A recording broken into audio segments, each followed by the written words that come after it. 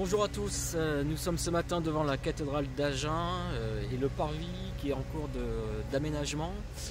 Des travaux qui ont été perturbés par des découvertes archéologiques, euh, on va dire d'importance, puisque début septembre, le chantier a pris un coup d'arrêt avec la découverte d'un sarcophage en marbre blanc qui va être prochainement exposé au musée d'Agen. Le chantier se poursuit toutefois, euh, puisque l'idée est de, tout, mettre au même niveau.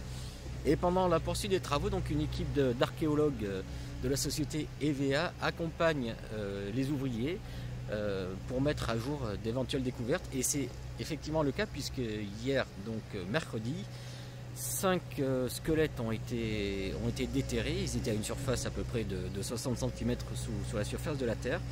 Ces cinq, ces cinq corps étaient appuyés sur un mur qui fait aussi l'objet d'une étude qui a été construite auparavant. Selon les archéologues que, nous venons de rencontrer, ces, corps seraient euh, le signe d'un ancien cimetière qui était présent ici autour de l'édifice religieux.